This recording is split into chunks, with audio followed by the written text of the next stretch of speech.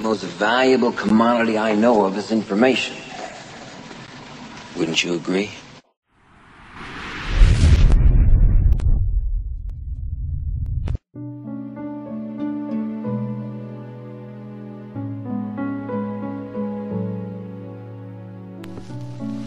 This is Earl Nightingale.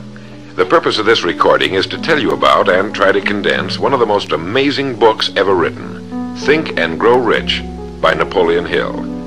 Without question, this single book has had a greater influence on the lives, accomplishments, and fortunes of more individuals than any other work of its kind. All over the free world, there are literally thousands of successful men in all lines of work who are where they are today because they once picked up and bought a copy of Think and Grow Rich and they'll be quick to tell you so. I first discovered this remarkable book in the fall of 1949. It was of enormous help to me. It helped me decide once and for all how I was to accomplish my goal. It unified my thinking and gave me a straight, clear road to the point I had decided to reach. One of my closest friends found the book several years ago and stayed home for three days reading and digesting its material, and he then went on to reach the top in his industry. I've sat in richly paneled, carpeted executive offices and listened to world-famous business leaders, some of them old enough to be my father, tell me that everything worked out fine after they had read Think and Grow Rich. Now, what's the secret of this amazing book? Why has this book, out of all the thousands of self-help books, remained the one towering giant? I think to understand this, you have to know Napoleon Hill as I do. He certainly was not the first man to be appalled at the poverty and seemingly endless struggle and lack of direction he saw about him as a boy and as a young man, nor was he the first to write on the subject. But he possessed two unique, highly developed abilities seldom found in one man.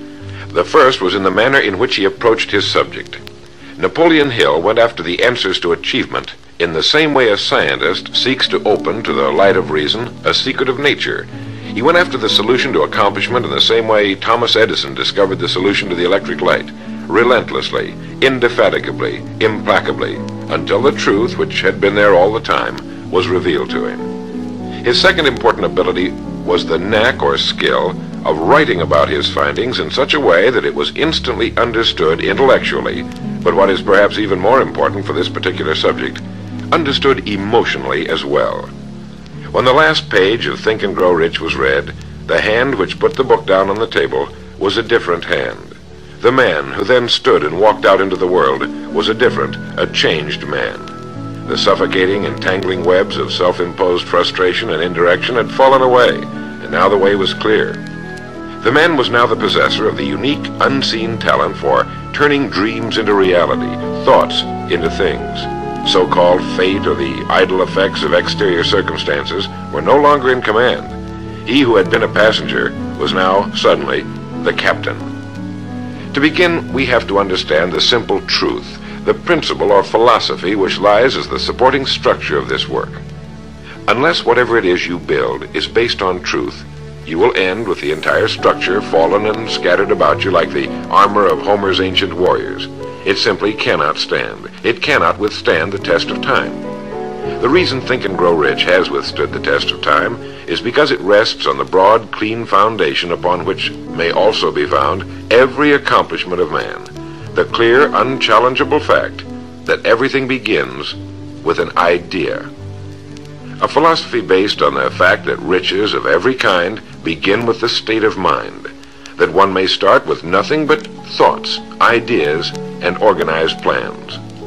Thoughts are things, incredibly powerful things when mixed with definiteness of purpose, persistence, and a burning desire for their translation into material objects or riches, riches being whatever it is you happen to want. Wise men have been saying this for centuries, and just recently Charles A. Cerami wrote, The truth is that the human mind is as real an organism as any muscle in the body, but far greater in potential power, and like muscle fiber, it can be strengthened to lead on to unimagined conquests. So this, then, is the truth on which Think and Grow Rich is based. If you know what you want, and if you want it strongly enough to muster the kind of persistence that simply cannot be stopped, you will most certainly achieve it. By controlling your mind, you can control your destiny here on earth. With this as our foundation, let's talk about Napoleon Hill's famous 13 proven steps to riches as found in his book Think and Grow Rich. Remembering, of course, that riches are whatever it is you happen to want. And right here, let me make two important points. The first is that whenever you listen to this record, have a notebook handy and make notes as we go along. The second is that this record was produced for your own personal use, to go with you on your own exciting journey. To play this record for a group will prove to be of only temporary help. Make sure you have your own personal copy to play again and again, particularly at those times when you may feel yourself getting off the track. And now, Napoleon Hill's famous 13 Principles. You will notice that we have separated each principle by banding them on the record. In this way, you're given quick access to any particular principle to which you may wish to return for reference. The first principle, desire. Here is the starting point for all achievement, the first step toward riches. But it's right here that we so often run into a stumbling block. A person will say, I know what I desire, but can I get it? We'll get into this business of doubt later, but once and for all, let's clear up this point. This point of whether or not you can accomplish that which you desire with all your heart. I think it was best expressed by Emerson, who wrote, There is nothing capricious in nature, and the implanting of a desire indicates that its gratification is in the constitution of the creature that feels it. In other words, you would not have the desire unless you were capable of its achievement. Each of us has a built-in governor, and our desires are modified by our abilities and leanings. Whatever it is that you desire with all your heart, understand once and for all that it can and should be yours. In Think and Grow Rich, Napoleon Hill cites example after example of why your burning desire is nothing more than an accurate picture of what you will one day become. So right here, firmly establish in your mind that which you desire more than anything else. For, as Helvetius put it, by annihilating the desires, you annihilate the mind. Every man without passions has within him no principle of action, nor motive to act. A good way to determine whether or not you really have a burning desire is to examine the way you go after it. If you go after that which you think you desire tentatively, timidly, in an attempt to play it safe, you don't have a burning desire at all. You can't get to second base if you keep one foot on first.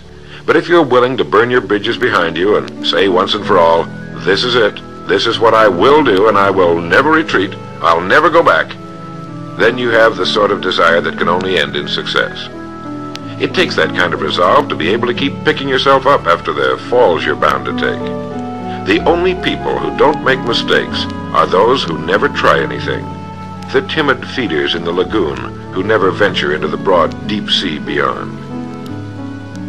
While these principles will work for anything you may want, a more harmonious home life, a more successful career, for our example, let's say your desire happens to be more money, to better care for your family and provide for your future years, to get your share of the prosperity that lies ahead. Napoleon Hill gives us six definite, practical steps to follow. One, Fix in your mind the exact amount of money you desire. It is not sufficient merely to say, I want plenty of money. Be definite as to the amount. There's a psychological reason for definiteness, which will be described in a subsequent principle. Number two, determine exactly what you intend to give in return for the money you desire. There's no such reality as something for nothing. Three, establish a definite date when you intend to possess the money you desire. And four, Create a definite plan for carrying out your desire and begin at once, whether you're ready or not, to put this plan into action. 5. Write out a clear, concise statement of the amount of money you intend to acquire, name the time limit for its acquisition, state what you intend to give in return for the money, and describe clearly the plan through which you intend to accumulate it. 6. Read your written statement aloud twice daily, once just before retiring at night and once after arising in the morning. As you read, see and feel and believe yourself already in possession of the money, or whatever your goal happens to be. It's important that you follow these instructions to the letter. Play this part of the record over until you have it down to your satisfaction, for this is by far the most important of the 13 principles, and this chapter of the book ends with these words.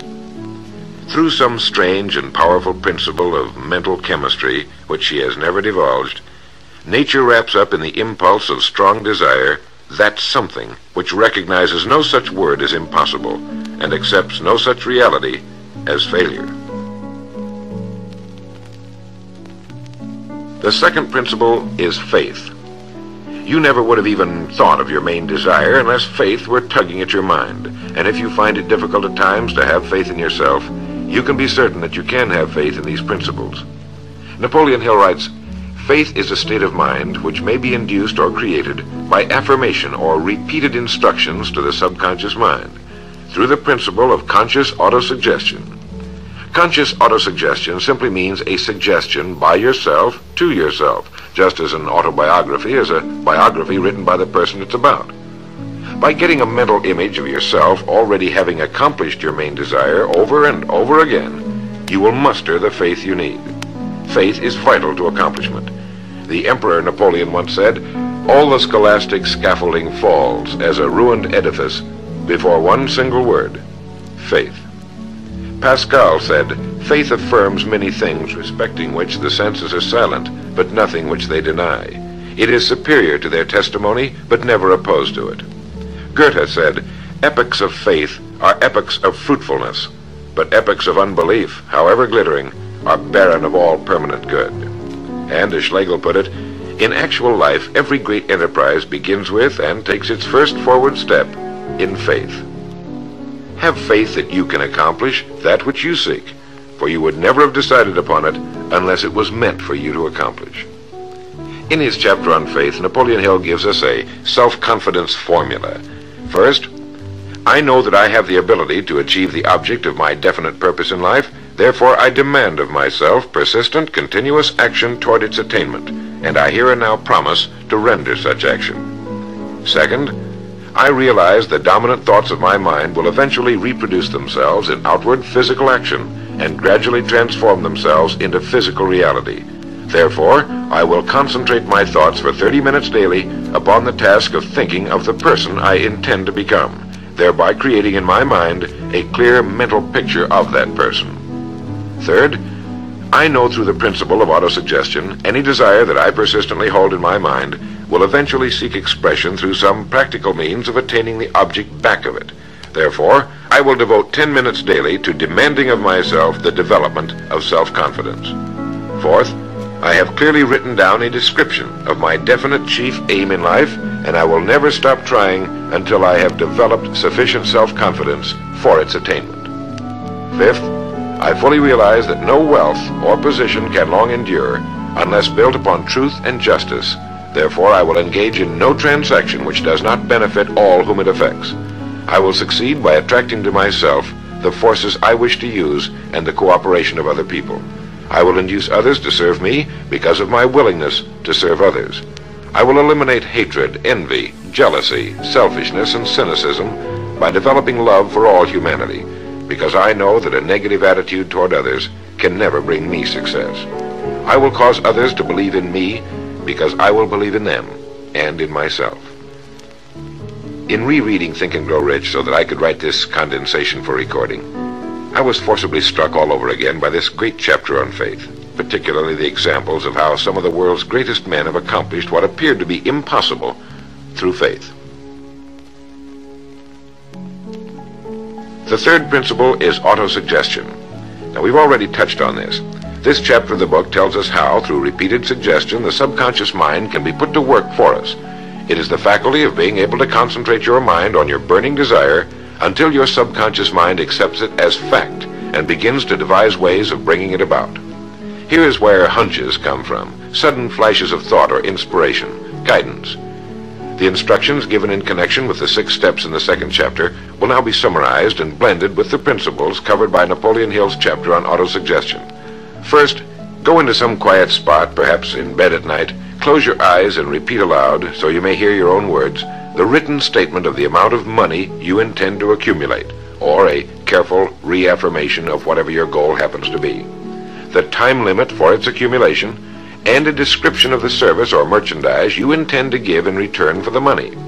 As you carry out these instructions, see yourself already in possession of your goal. For example, suppose that you intend to accumulate $50,000 by the 1st of January, five years from now, that you intend to give personal services in return for the money in the capacity of a salesman. Your written statement of your purpose should be similar to the following. By the first day of January, 19, whatever it happens to be, I will have in my possession $50,000, which will come to me in various amounts from time to time during the interim. In return for this money, I will give the most efficient service of which I am capable, rendering the fullest possible quantity and the best possible quality of service in the capacity of salesman of, and here describe the product or service you intend to sell or whatever it is you do for a living. It goes on. I believe that I will have this money in my possession. My faith is so strong that I can now see this money before my eyes. I can touch it with my hands. It is now awaiting transfer to me at the time and in the proportion that I deliver the service I intend to render in return for it. I am awaiting a plan by which to accumulate this money, and I will follow that plan when it is received. Second, repeat this program night and morning until you can see in your imagination the money you intend to accumulate.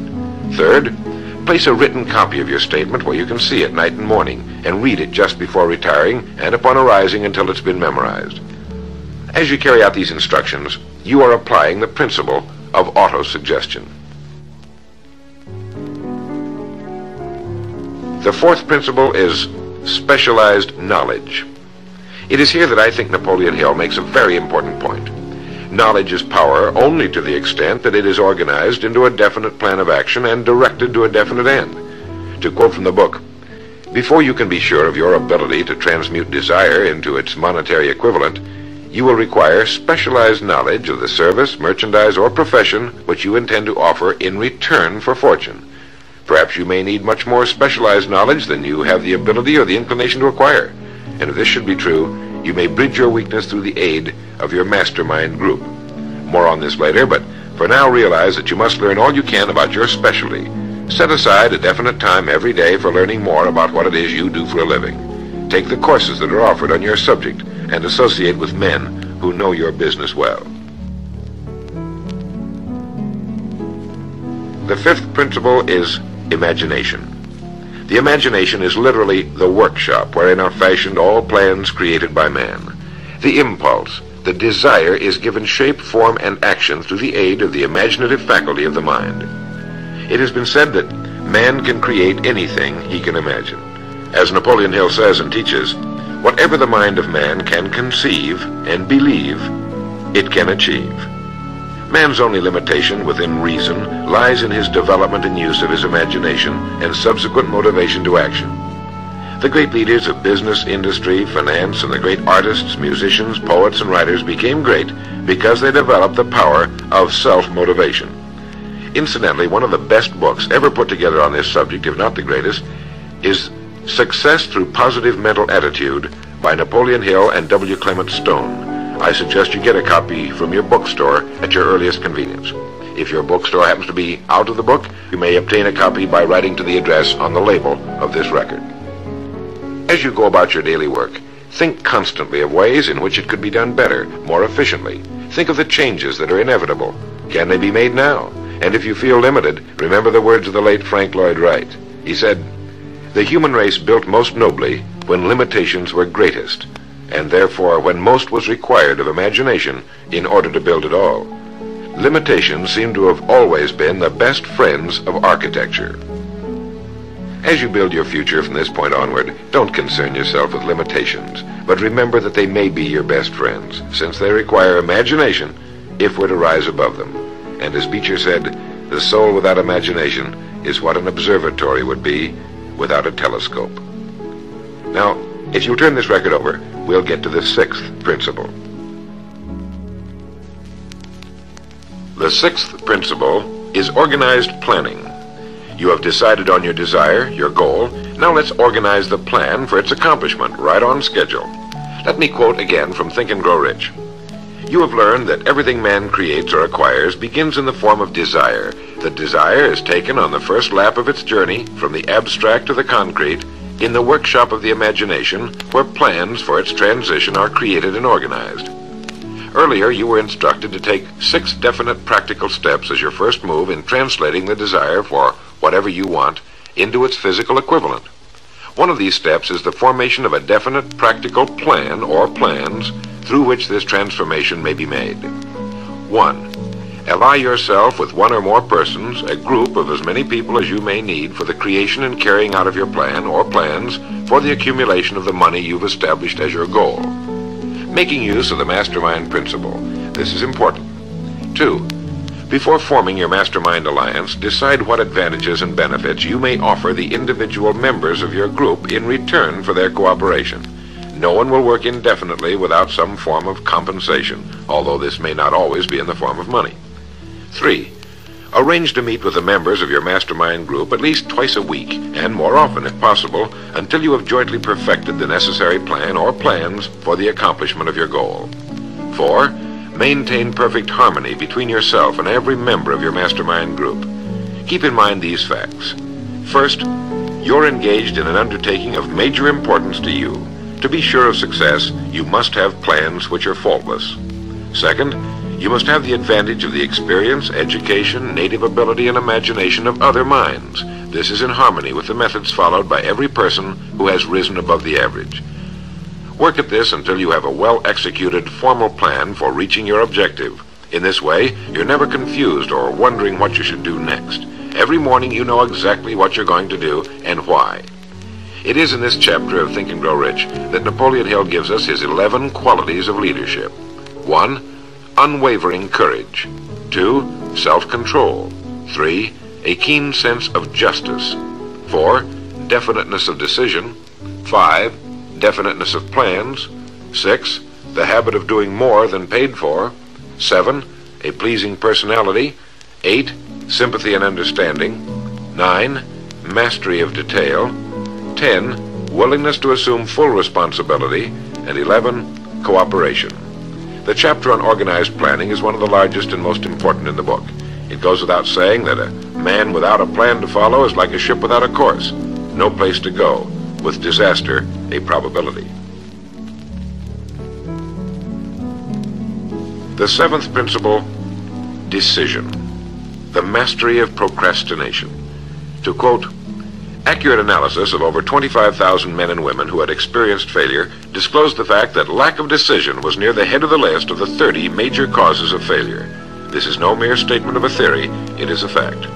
Procrastination, the opposite of decision, is a common enemy which every man must conquer. Analysis of several hundred people who had accumulated fortunes well beyond the million dollar mark disclosed the fact that every one of them had the habit of reaching decisions promptly and of changing these decisions slowly if and when they were changed. People who fail to accumulate money without exception have the habit of reaching decisions, if at all, very slowly and of changing these decisions quickly and often. A definite objective makes reaching prompt decisions that much easier. Napoleon Hill gives many examples, one of which is the case of Henry Ford. One of Henry Ford's most outstanding qualities was his habit of reaching decisions quickly and definitely and changing them slowly. This quality was so pronounced in the late Mr. Ford that it earned for him the reputation of being obstinate. It was this quality which prompted Mr. Ford to continue to manufacture his famous Model T, the world's ugliest but for the time most practical car, when all of his advisors and many of the purchasers of the car were urging him to change it. Perhaps he delayed too long in making the change, but the other side of the story is that his firmness of decision yielded a huge fortune before the change in model became necessary, and the company is certainly none the worse for it today. When you make up your mind, stay with it. The majority of people who fail to make the grade are generally easily influenced by the opinions of others, easily swayed. They permit the newspapers and the gossiping neighbors to do their thinking for them. Opinions are the cheapest commodities on earth. Keep your own counsel when you begin to put into practice the principles we're describing here. By reaching your own decisions and following them, take no one into your confidence except the members of your mastermind group and be very careful in your selection of this group, that you choose only those who will be in complete sympathy and harmony with your purpose. Close friends and relatives, while not meaning to do so, often handicap one through opinions and sometimes through ridicule. Thousands of men and women carry inferiority complexes with them all through life because some well-meaning but ignorant person destroyed their confidence through opinions or ridicule. If a decision is worth anything at all, it's worth sticking to until it's been completely worked. The eighth principle, persistence. Napoleon Hill defines persistence as the power of will. Willpower and desire, when properly combined, make an irresistible pair. Persistence to an individual is what carbon is to steel. In uncounted thousands of cases, persistence has stood as the difference between success and failure. It is this quality more than any other that keeps the majority from great accomplishment. They'll try a thing, but as soon as the going gets tough, they fold. Experience with thousands of people has proved that lack of persistence is a weakness common to the majority of men. It is a weakness which may be overcome by effort. If you're to accomplish the desire you've set for yourself, you must form the habit of persistence. Things will get dark, it will seem as though there's no longer any reason to continue. Everything in you will tell you to give up, to quit trying. And it's right here that the men are separated from the boys. It's right here that if you'll go that extra mile and keep going, that the skies will clear, and you'll begin to see the first signs of the abundance that is to be yours because you had the courage to persist.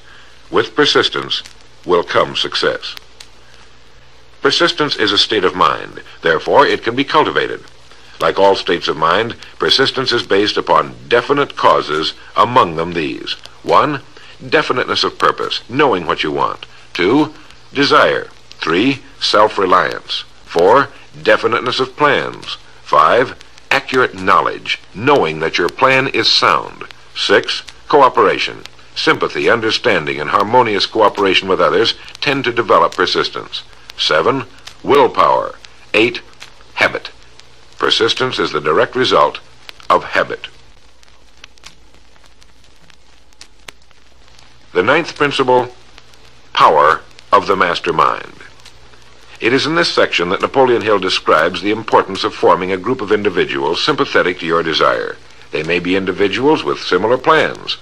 A mastermind group can be made up of two or more individuals. No two minds ever come together without thereby creating a third a third invisible, intangible force, which may be likened to a third mind. You may have noticed many times that by discussing something with another individual, you suddenly get good ideas as a result of this association. Ideas you would not have gotten without this association. The same thing happens to the other person. A lot of good ideas have been born in individual minds as a result of having met in committee. Associating with your mastermind group is not meant as a means of letting others do your thinking for you. Far from it. It is to stimulate your own thinking through the association with other minds. No one knows everything. The more sympathetic minds you get together, and by sympathetic I mean working for a common purpose, the more related information is going to be available. And great ideas are a combination of related information. So pick the member or members of your mastermind group with care. Make sure they're people you respect and who are hard-working and conscientious. You'll have a lot of fun, and you'll all reach your goals just that much sooner. The tenth principle could be called enthusiasm. That is, the enthusiasm that comes from the channeling of all bodily drives into positive, worthwhile outlets. It is in this chapter that Napoleon Hill describes the importance of the woman, the one and only woman, in the achievement of a worthwhile goal. It seemed quite significant to Mr. Hill that practically every great leader was a man whose achievements were largely inspired by a woman. When things get tough, and you can count on it, they will, you may be deserted by what you thought were friends, but if you've got a good woman, you'll never be alone. She'll be willing to start over again if necessary, and she'll give you the new enthusiasm that comes through her faith in you. Having someone to love is having someone to share your success and accomplishments, to give you the praise that all of us need from time to time.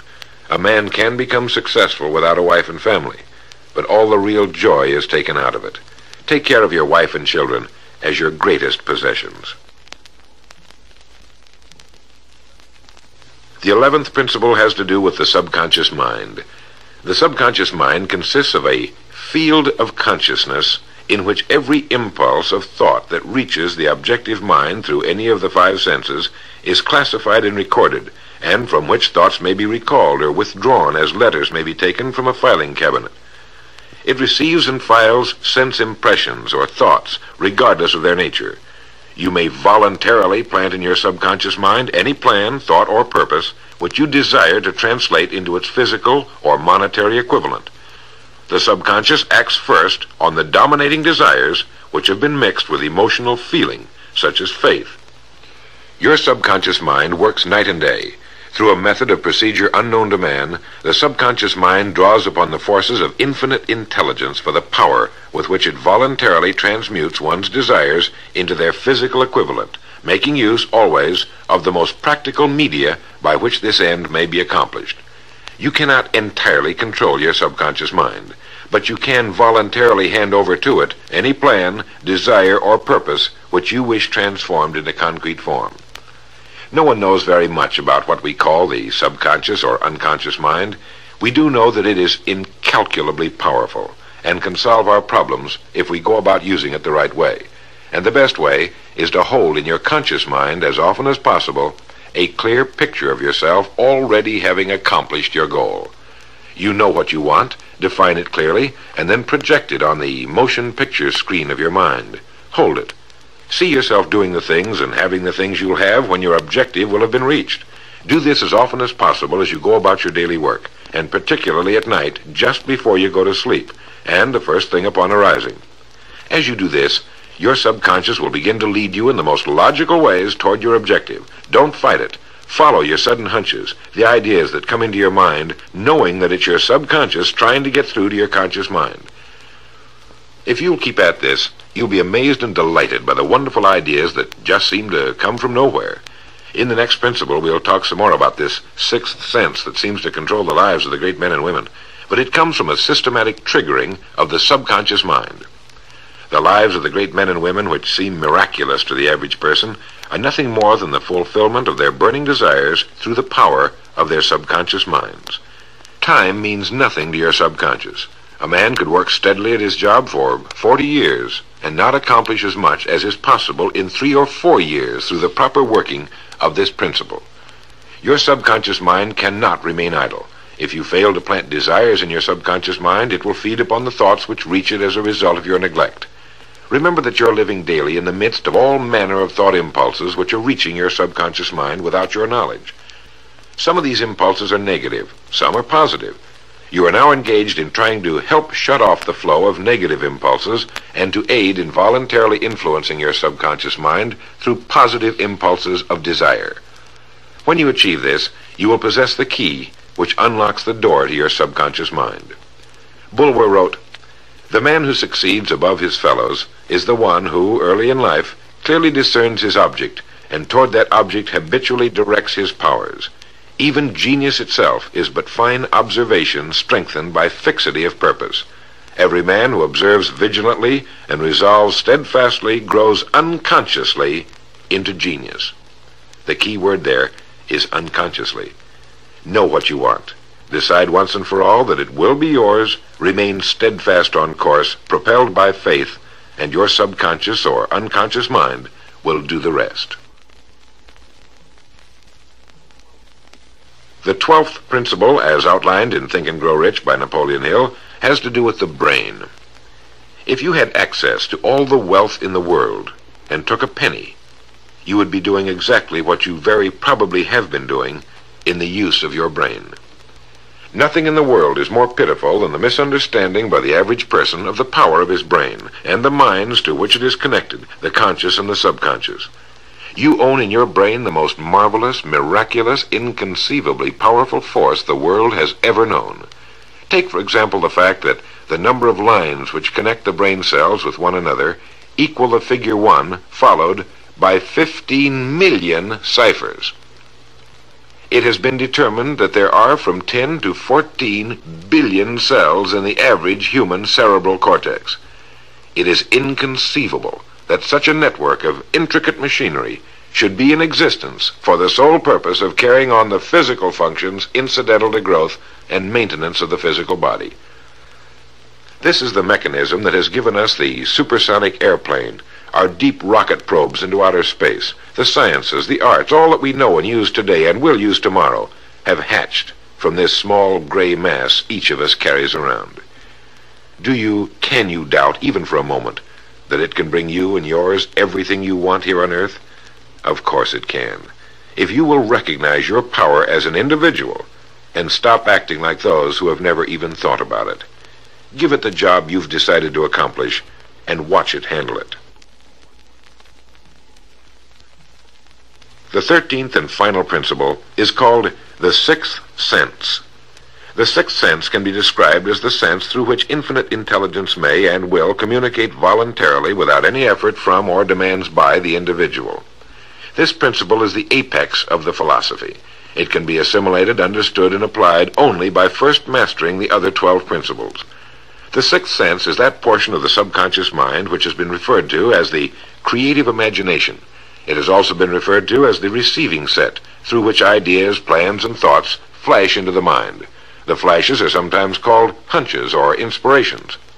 The sixth sense defies description. It cannot be described to a person who has not mastered the other principles of this philosophy, because such a person has no knowledge and no experience with which the sixth sense may be compared. The sixth sense is not something that one can take off and put on at will. Ability to use this great power comes slowly through application of the other principles we've outlined.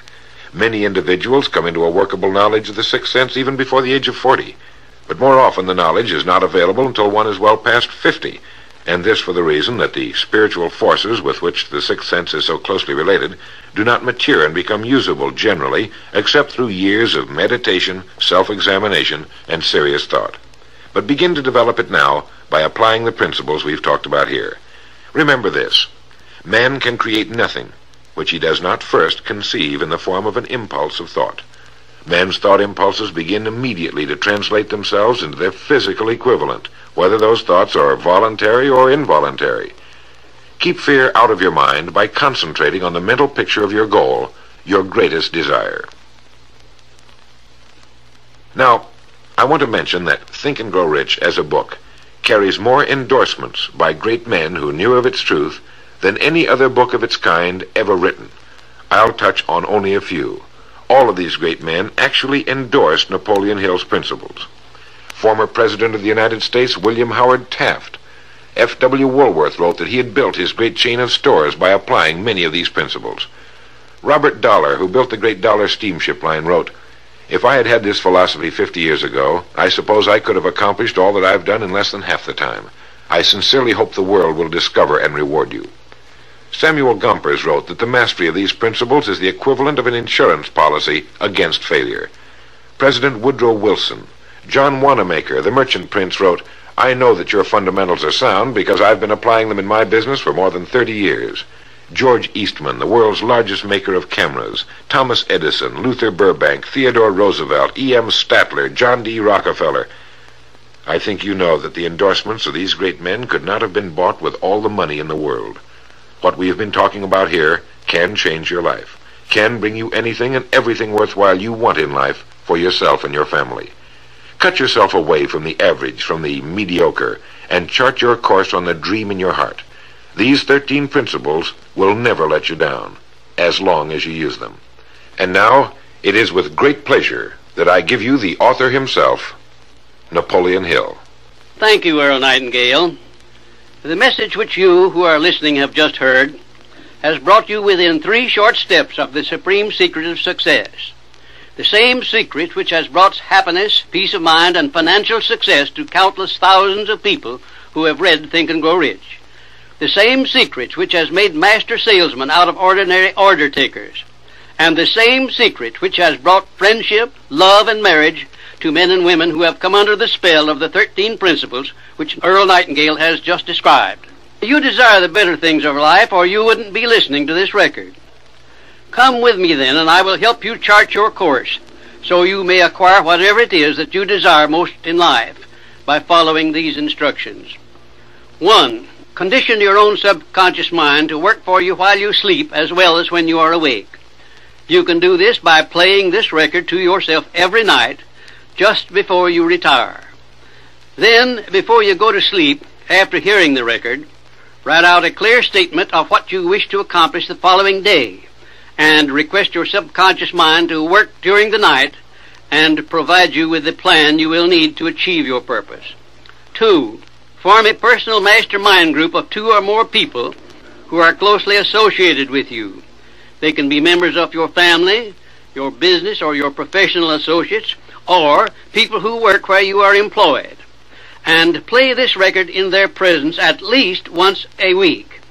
After you have done this, engage in a friendly roundtable discussion of the 13 success principles and request each person in the group to participate and to look for inspirational ideas which may help him or her to become more successful. Three, beginning now, follow the habit of rendering more service and better service than that which is expected of you, and do it in a pleasing, positive mental attitude.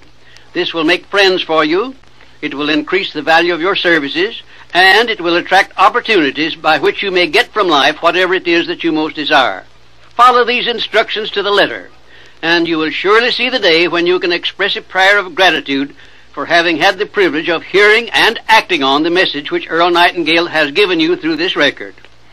And now, may I reach out across the space and the time which separate us and offer you a hand of friendship and a sincere prayer that you will be blessed with a richer and a fuller life because of this message.